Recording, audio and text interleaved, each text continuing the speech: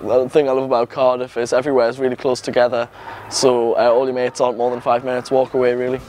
There's just so many things happening that are completely on your doorstep.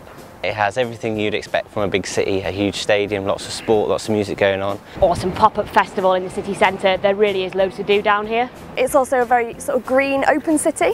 I thought Cardiff was really vibrant, but also it was quite small. It had a little bit of a community feel. You'd, I've never had to like catch a bus or get taxi. It's my local city, it's a city that I'm familiar with. Whether you like the busy life or quiet life, you can have a bit of both. You get all the benefits of living in a capital city without um, sort of all the, the high crime rates or the high prices that come with London. It's close to my home, uh, yet far enough to be independent and live by myself. As well as uh, the opportunities for employment and also the um, areas around it such as the bay and also you've got uh, the mountains the other side of Cardiff.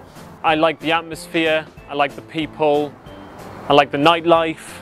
And it's just got a really great sense of community.